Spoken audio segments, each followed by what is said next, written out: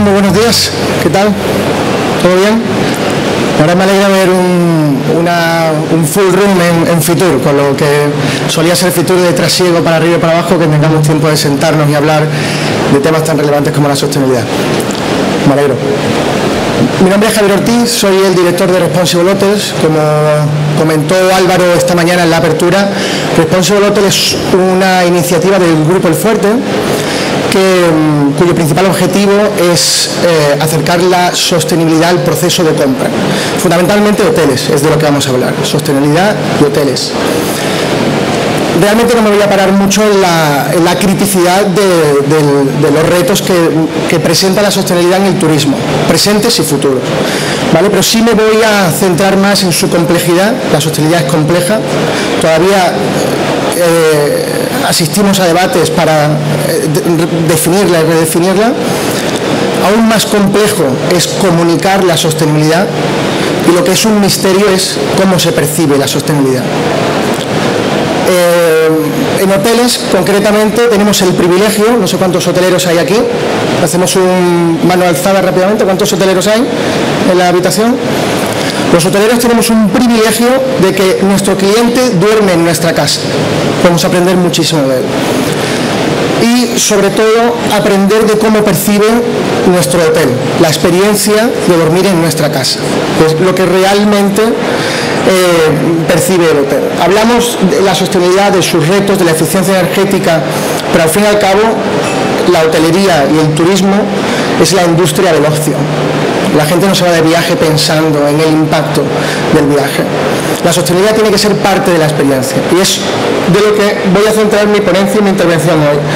Os hablaré un poco de lo que eh, es el proyecto, de cómo iniciamos el, proyecto Responsible Hotels, cómo dimos con el término Hotel Responsables, ¿Vale? Hablarían también un poco de nuestra empresa madre, que es Fuerte Hoteles, aunque luego tendréis la ocasión de conocer a José Luque, su consejero delegado, consejero delegado también de Responsible Hotels.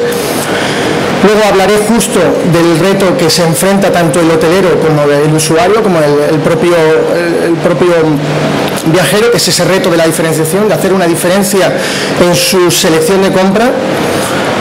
Daré un paso atrás para hablar de, la responsabilidad del consumo responsable en la industria del consumo, proyectos reales, y finalizaré la, presentación con eh, las iniciativas, que es realmente por lo que estamos nosotros aquí. O sea, hoteles, ejemplos de hoteles que hemos visto que nos han llamado la atención y sobre todo vamos a diferenciar dos ejemplos de cadenas, dos ejemplos de hoteles independientes de, de cadena, de cadena pequeña. En primer lugar, este, esta, migración, ¿no? la migración que hicimos en nuestras mentes para cambiar el, término de ecohotel al hotel responsable. el número uno más importante era la incoherencia que tiene el, término eco en un hotel. Eh, en realidad, ser ecológico, que es lo que todos queremos ser, eh, eh, es muy difícil, 100% ecológico es muy difícil. Toda actividad mano tiene un impacto en el entorno tanto medioambiental como social. Por tanto, vincular una actividad como es la hotelería a la ecología es, complicado sobre todo que vayan el mismo nombre. ¿vale? Por tanto, eh, por el año 2007 ya, dimos con el, concepto de turismo responsable. En el año 2002 fue cuando se firmó en Ciudad del Cabo la declaración de turismo, de turismo responsable. Dimos con, esa terminología y, vimos que era un término más amplio incluía la sostenibilidad, es, equivalente a la sostenibilidad, incluía también la parte de experiencia, que es lo que realmente eh, eh, incorpora dentro de lo que es la experiencia de un hotel. Eh, fundamentalmente en, lo que es el, producto en sí, el producto final. En concreto, esta foto es, de, uno, precisamente del primer proyecto de Fuerte Hoteles en, esta línea, fue en el año 99, en la costa gaditana, en, Conil, en el que el reto era acercar el, producto a ese concepto. El principal mercado es alemán para este destino, que ya en ese año, en el año 99, empezaban a reclamar eh, productos más, más eh, enfocados a la sostenibilidad. Es, una construcción muy integrada en el entorno, utilizando arquitectura, eh, arquitectura, arquitectura local, eh, incluso la, pintura es ecológica para evitar dañar el, medio ambiente y sobre todo todo lo que acompañaba a la experiencia, todo lo que es el, proceso del, cliente dentro de, lo que es el, hotel, eh, iba enfocado hacia esa terminología. Y hoy veremos también fundamentalmente los conceptos transversales que son los que sí percibe el cliente en lugar de utilizar sostenible. Nadie es sostenible porque lo repita mucho. Alguien es sostenible porque practica la sostenibilidad. ¿Cómo se practica la sostenibilidad? Hay muchas maneras y lo veremos en los ejemplos. Comida saludable, comida local, realmente es muy importante para un alemán que viene de, su origen, etcétera, etcétera, venir a España y tener una experiencia gastronómica española. Y fundamentalmente, y si encima lo pones en valor en, la propia, en el propio restaurante, que los productos están eh, eh, comercializados con proveedores locales, enriquece la experiencia y realmente ese viajero se lleva un recuerdo. En ningún momento de esa, de esa cadena de valor le hemos dicho a nadie que somos sostenibles, sino simplemente hemos enriquecido el producto con una acción que es compra local, eh, producto local promoviendo gastronomía local y gastronomía saludable. Luego el otro reto, en el otro lado de la, de la baraja, de la carta, está la comercialización, la comercialización de este hotel. No hace falta que hable de, la evolución de la comercialización de plazas hoteleras en Internet en los últimos años. ¿vale? Simplemente con el dato de que en, una online, una OTA eh, estándar en un destino como Madrid, Barcelona, Londres, etcétera, etcétera, le muestran 600 resultados, 1000 resultados en Londres a la hora de elegir un, un alojamiento, una opción de alojamiento en uno de estos destinos. ¿vale? Hemos estado y seguimos en la lucha del precio de la tarifa de la, habitación hotelera.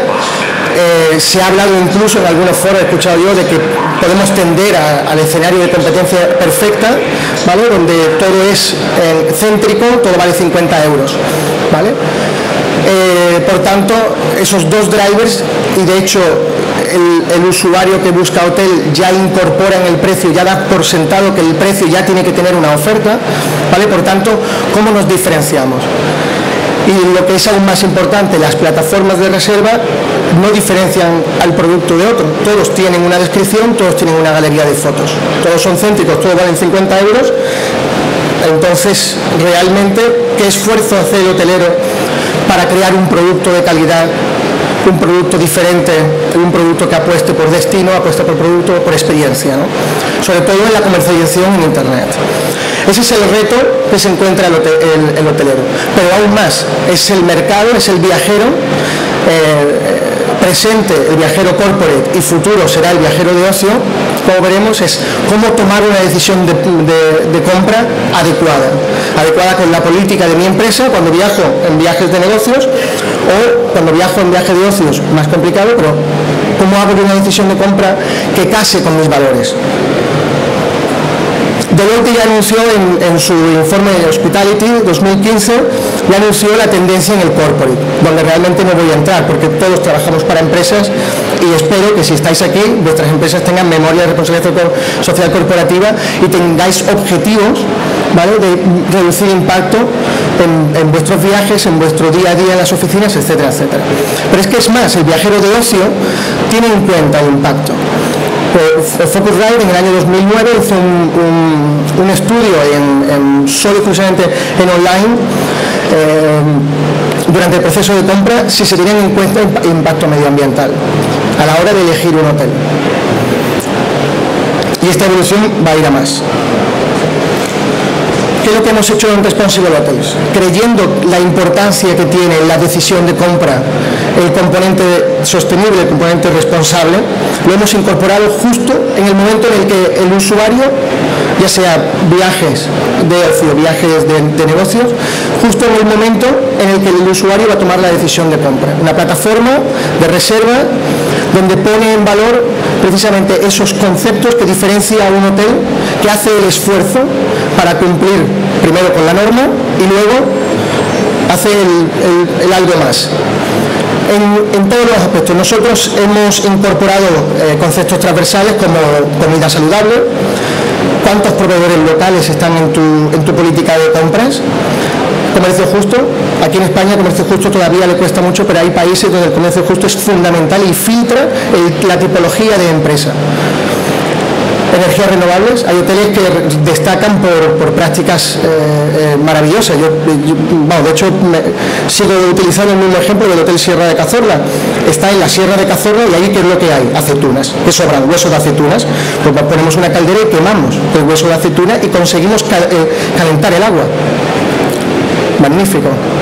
Coste, la inversión de la caldera y la instalación. Pero aceitunas en Jaén hay muchas proyectos sociales medioambientales. Hay hoteles y hoy, os hablaré de, proyectos sociales en comunidad local que son, son maravillosos. Hay, hoteles, hay un hotel en, Tailandia que es que ha recuperado la especie específica de elefante de Tailandia y es el hotel. Es el santuario de conservación de esa especie de elefante está dentro del hotel. El hotel es su acción social, pero además lo incorpora en la experiencia porque los, huéspedes hacen el check-in, ven la habitación y lo siguiente es ir a ver el santuario de elefantes, que es lo que más recuerdan. Gestión de residuos, fundamental, es el cradle to cradle, gestión de compra, revalorizar residuos, etcétera, etcétera. Me mandaron un Christmas eh, estas navidades, un hotel que hizo un árbol de navidad de botellas de plástico y políticas sostenibles y RSC. Fundamentalmente que el hotel tenga esas políticas sostenibles y que calen el empleado. Hablábamos de los retos de la comunicación, comunicación a huésped, pero comunicación a los empleados. Ayer tuve una reunión en Costa Rica y me decía una de, una de las personas que estaban en un hotel aquí en Madrid, tenían el cartelito de si quieres que no, lavemos que no nos llevemos la toalla, déjala colgada. Ellos lo dejaban colgada y sorpresa, al día siguiente se la habían llevado. tiene que calar en los empleados. Bueno, doy ese paso atrás que os prometía para llegar al, consumo responsable, al, mercado, al, momento. Os doy este input, es eh, lectura recomendada. Supongo que conoceréis a Daniel, Daniel Goleman por, por un bestseller que publicó hace unos años sobre inteligencia emocional, perdón, sí, inteligencia emocional se llamaba, eh, vinculando eh, redes sociales con conocimiento universal, la co-creación, la cooperación en, la información y unos años más tarde publicó Inteligencia Ecológica. Llegó a las manos de José Luque y nada más entrar yo en la empresa me, hizo leérmelo. Una lectura muy, muy, interesante. Lo que realmente nosotros destacamos de aquí es el concepto de la transparencia. El concepto de la transparencia va vinculado fundamentalmente a la sostenibilidad y al reto que os decía al principio, la comunicación. ¿Por qué? Porque si haces algo bien, haces bien eficiencia energética, haces bien proyectos sociales, comunícalo, sé transparente. Es un reto consumo realmente, os voy a dar otro input, es realmente muy arriesgado. ¿Por qué? Porque en la transparencia se ven las virtudes, pero también los defectos. Pero es más, Daniel Goleman en este libro de lo que realmente habla es que hay un horizonte económico que regulará el impacto oculto de las compras. Hay vídeos en YouTube muy curiosos y él habla, por ejemplo, de un juguete que le compró a, su hijo y el, hijo, el sobrino, me parece, era muy pequeño y se lo metía en la boca. Y luego leyó que la pintura del juguete era tóxica. Lo, terminó tirando. Creo que nunca se, se lo llevó a dar. Good Guide, fue una referencia para el proyecto que utilizamos en Responsible Hotels. Good Guide mm, desarrolla un panel de indicadores en tres, Responsible Hotel tiene cuatro, incluimos satisfacción de cliente. Good Guide eh, incluye salud, impacto medioambiental y sociedad. Ellos valoran hoteles, empezaron por hoteles de consumo, hoteles, eh, perdón, eh, productos de consumo, tanto químicos de limpieza como de, comida, cosas para niños, comida para animales, textil, y ahora han empezado con coches y teléfonos móviles, tecnología en, este, este, eh, fue en este proyecto donde nos empezamos a dar cuenta precisamente de, algunas cosas, como por ejemplo comida para bebés, si vais al supermercado, si tenéis hijos, no existen marcas blancas. El corte inglés no tiene su propia marca de comida para bebé. ¿Por qué? Porque es padres y madres que compran comida para bebé, se lo leen todo. Necesitan que haya una marca detrás, que haya un respaldo, que haya un héroe, que haya una, una empresa con conciencia para que confíes en que esa comida es saludable para tu hijo. No hay marcas blancas, otros productos sí. En, tejido, en textil, el impacto que tiene que se publique que una empresa de textil hace su, línea de, cosido, etcétera, etcétera, sin eh, respetar la comunidad local, sin respetar la regulación de empleo de menores en ciertos países. Imaginar el impacto en la marca y en los productos. Esto es consumo y evidentemente no es lo mismo el tangible de un consumo que te llevas a la boca que en la industria de los servicios donde estamos nosotros en la hotelería, el intangible de la, de la hotelería, pero sí el impacto entre marcas. No voy a intentar ser dogmático, pero sí os voy a explicar la experiencia que tenemos con estos ejemplos, espero que sean ilustrativos y seguro que por lo menos los dos primeros seguro que los conocéis. Intercontinental, una cadena. Su principal reto, la globalización. Diferentes países, diferentes regulaciones, adaptarse a los países, a las regulaciones, etcétera, etcétera. Ellos ya empezaron el programa de, Responsible Business hace, hace unos años y han ido incorporando iniciativas. Pero fundamental, objetivos. Reducción del coste en eficiencia energética, objetivo. Número dos, formación a empleados ponen los objetivos y lo publican. Esta, es la plataforma que ellos tienen para comunicación interna, pero es accesible por todo el mundo. Tú puedes entrar en, la página web de Intercontinental y llegas a esta parte. Eh, ellos lo primero que hicieron, eh, eh, para llegar a iniciativa, ellos no son expertos en iniciativa de adaptación social, de, conservación, etcétera, etcétera. Firman acuerdos con los expertos. uno de los acuerdos que, más me llama la atención es con National Geographic para el tema de conservación tiene un acuerdo, creo que es en, Asia Pacífico con Earth Conservation para hacer trabajos de conservación de ribera de ríos, de, mm, eh, fauna y flora, etcétera, etcétera. Eh, pero en Reino Unido, por ejemplo, tienen eh, la iniciativa de Childcare, son los principales donantes de, esta ONG, Child, Childwell, perdón, que es adaptación de, niños con problemas de adaptación social por, por San huérfano, tienen, problemas de educación, etcétera, etcétera. Y, HG es el principal donante de esta iniciativa, es proyecto social. Eh, este pantallazo es de su página corporativa, es un vídeo que os recomiendo que, veáis, pero sobre todo esta iniciativa, Green Engage. Veáis, buscáis en YouTube, en, la propia plataforma de IHG Green Engage, es el programa de eficiencia energética interno de los hoteles IHG. Es una plataforma similar supongo que a la de Intelitur o la de HEH, pero solamente para los hoteles de IHG, pero la comunican al exterior no solamente lo comunican a los hoteles, lo comunican al exterior. Esto es lo que yo le voy a pedir a mis hoteles que hagan, es la plataforma que pongo, estos son mis objetivos, mis retos y, y, el camino lo, comparten con, el mundo, no es, total y absolutamente transparente. Sangrila Hoteles, esta a lo mejor es menos conocida, es una cadena hotelera de Asia-Pacífico, tiene hoteles en, Europa, creo que tiene uno en, Reino Unido y en Canadá tiene otro. Son 70 y pico hoteles de super lujo. Ellos, eh, eh, se posicionan en el segmento de lujo. Eh, tienen sede en Hong Kong y hoteles fundamentalmente en, Asia Pacífico. De, esta cadena las iniciativas parten de ellos, pero no solamente la, parten de ellos, sino que además las comunican y las etiquetan. En este caso tenemos en, su, en su página web la comunicación de su programa de sostenibilidad, que además acompaña con un logo que es reconocible por sus empleados, acompañará todas las iniciativas en toda la experiencia en los hoteles, eh, reconocido por los empleados, reconocido por el huésped. Lo mismo, pero proyectos sociales. Embrace es la, marca que acompaña todas las iniciativas de sangre en sus proyectos sociales. Y Santuario es la marca de sostenibilidad vinculada a lo que es conservación de, fauna. En lugar de vincularlo a la marca Sangrila, lo vinculan al propio sello, que es el que veis arriba a la derecha, de esa iniciativa. Pero claro, diréis, pues son cadenas de, una dimensión que es difícil, difícil comparar. Nos acercamos a, Europa, Scandic Hoteles es eh, es la cadena de hoteles eh, que hemos utilizado de referencia en, Europa, son 155 eh, hoteles, ellos fundamentalmente en medio ambiente y lo que comunican es objetivo, fundamental, objetivo. Ellos empezaron en el año 96, no recuerdo el año en el que quieren ser carbon neutral, creo que es 2020.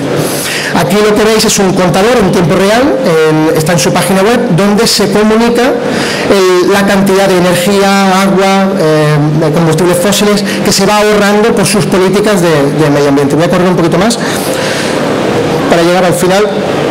Esto es también de Scandic y aquí lo que comunican es en verde lo que, les obliga o lo que les pide su certificación, que es el Nordic Zone, es la ecoetiqueta en los países nórdicos, y en rojo su objetivo y, el, dato real de los años, empezando en el año 96 y el último número es el año 2007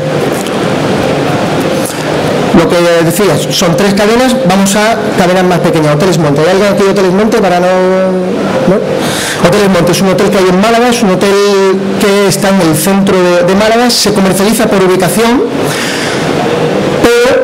es un ejemplo de, eh, eh, bioclimático, pero no se comercializa con ese concepto. Sin embargo, no sé si se ve muy bien, si se ve, ¿no? los comentarios, sin embargo el impacto en el cliente es evidente. El cliente en sus comentarios habla de los drivers eh, básicos, que es buen trato, buenas instalaciones, personal agradable, bien ubicado, buen precio, pero además resalta, utiliza energía renovable solar para el abastecimiento eléctrico o el de abajo a destacar el sistema que tienen para autoabastecerse eh, de suministro eléctrico y otros. Y sin embargo, podéis comprobarlo vosotros mismos en la página web de, Hoteles Monte, no se comercializa como un hotel sostenible o un hotel bioclimático, simplemente lo es. Stan Hale. Stan estuvo aquí hace dos años en Future es, un ejemplo de, hotel, de, hotel de ejemplo de, sostenibilidad ya no solamente por sus prácticas, sino además su comunicación. Se comunican como el primer hotel de ciudad del mundo que es eh, eh, carbon neutral, ¿no? es, es, consumo energético cero. Se comunica, evidentemente el impacto sobre, eh, sobre el usuario es mucho mayor, porque lo, incluyen en la comunicación. Sobre todo también por la arquitectura, es muy impactante y de hecho en la mayoría de los comentarios que, comentarios que hemos ido analizando, el, hecho de que el, techo para la recogida de agua, etcétera, etcétera, esté cubierto de, vegetación, eh, es una de las cosas que más destacan con respecto a esto en, los comentarios. Pero sí hablan concretamente de conceptos como eco-friendliness o por ejemplo en el comentario de abajo el being environmentally sustainable while offering an outstanding service for a very, very reasonable price. O sea, aquí lo dice todo. Es sostenible, pero además me da servicio de calidad conclusiones para terminar y creo que en la mesa de debates vamos a seguir hablando un poco de esto es fundamentalmente es creo que lo dijiste tú en, en Intelitour fácil, sencillo, comunicar elementos reconocibles por el mercado, por el empleado y por uno mismo. La industria tiene el reto de que tiene que cambiar la percepción de las tarifas. Todavía se sigue identificando que ciertos segmentos lo sostenible es producto premium cuando no lo es, sabemos que no lo es enfocar el, mensaje, o sea, no ser, no ser moralista y buscar el concepto transversal. Realmente hacemos las cosas bien, pues si las hacemos, las que mejor hagamos, las comunicamos. Calidad, eh, el usuario no va a percibir la experiencia por solamente el concepto de sostenibilidad. La va, la va, a percibir porque le digas, mi política de compras es productos locales y es lo que vas a encontrar en el comedor. O solo tengo comida saludable evitar pautas morales. Al fin y al cabo yo reconozco y, todos estamos aquí para un, turismo de futuro y los hoteles que hayan aquí que sean de vacacional, tu huésped está de vacaciones. Procuren utilizar pautas morales ni imperativos. Ser creíbles, muchas veces la certificación es fundamental y es precisamente el canal que más llega al mercado es la necesidad de verificación por terceros o la, utilización de plataformas como las que hemos traído aquí, Responsible Hotels, HS, eh, Intelitour, para que dé credibilidad a nuestra política y sobre todo lo, último que quiero decir, que es lo que he ido repitiendo, es el turista no percibe la sostenibilidad como una tipología de producto, sino como un atributo que le aporta valor. Muchas gracias.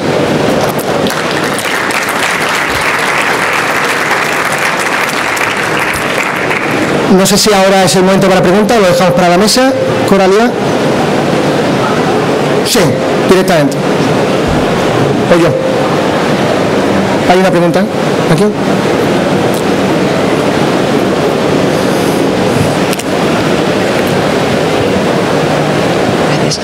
Buenos días. Uh, yo quería hacer dos preguntas. Una es eh, si podemos disponer de este PowerPoint que usted, si está colgado sí. en algún lugar o... Coralia me ha, me ha pedido que, que, se lo deje, de hecho se lo he copiado en, en, el escritorio, ahora mismo está en su escritorio, creo que la semana que viene estará en la página web del ITH. Vale, perfecto. Y la otra cosa de fondo es eh, el enfoque que, que, has planteado de estos hoteles como ejemplo. Sí. Era un enfoque muy global en relación a la sostenibilidad. Sí. Donde desde la comida saludable hasta los proveedores, hasta el comercio justo. Sí. Eh, normalmente en la experiencia de estos, de estos tipos de enfoques, cuando se realizan en instituciones o en empresas, es que eh, requieren un coste un poco mayor, tanto el comercio justo como la, como la, la, comida saludable, como evidentemente la inversión en energía o en agua, etcétera. Entonces la pregunta es, los hoteles que han optado por este enfoque global, sí. de, de, las experiencias que nos, han, nos, has enseñado, ¿por qué razones lo han hecho? Porque la razón económica, mmm, el ahorro económico, que evidentemente en, en, eficiencia energética puede ser significativo o en agua, eh, no, no, puede ser la única razón, porque lo otro es más costoso. La pregunta es, ¿ha sido por razones éticas de planteamiento, por razones económicas, por razones de diferenciación o un poco de todo? Yo no puedo hablar en nombre de ellos, ¿no? Y, realmente no, no, se lo, no se lo he preguntado porque para mí me parece evidente. Es una palabra, el cliente. Calidad. Enriqueces. ¿Es más caro el producto saludable? Claro. Es mucho más barato comprar un producto industrial, bollería industrial, etcétera, etcétera. Pero ¿cuál es la situación de un cliente que toma producto saludable la situación de cliente de uno que toma bollería industrial? ¿No? ¿Responde a la pregunta?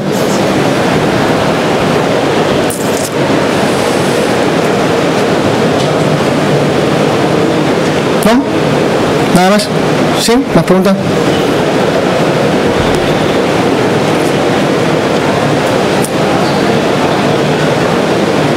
Hola, eh, bueno, yo he visitado la página, la plataforma de Responsible Hotels y no me he fijado mucho, ¿no? Pero los tres, como tres parámetros que medís, que sí. es pues sociedad, bueno, no me acuerdo bien, ¿no? Esos tres definidos, ¿se puede encontrar en la página exactamente qué indicadores usan? Porque yo me acuerdo de haber visto la página muy por encima y, y o sea, porque cada hotel ¿no? recibe una puntuación y esa puntuación, pues claro, al, al que lo usa le interesa saber de dónde ha salido, pero de dónde ha salido en detalle. ¿Eso se puede encontrar sí. bien detallado? Correctamente. Me he limitado a hablar de los ejemplos para no eh, eh, centrar solo la, la, la, presentación en la plataforma, que os invito a, a visitarla. Eh, los parámetros están en azul, debajo de, del hotel, eficiencia energética, autenticidad, satisfacción de cliente y comportamiento responsable.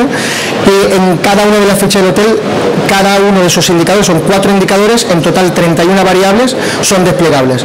Los que el hotel necesita para comunicar, evidentemente provienen del hotel, y lo demás proviene del, cliente que es el que rellena la, la encuesta de manera que al fin y al cabo se balancea la información por dos fuentes.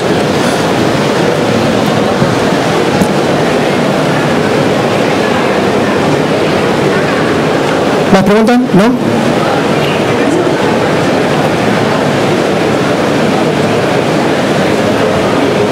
Muchas gracias.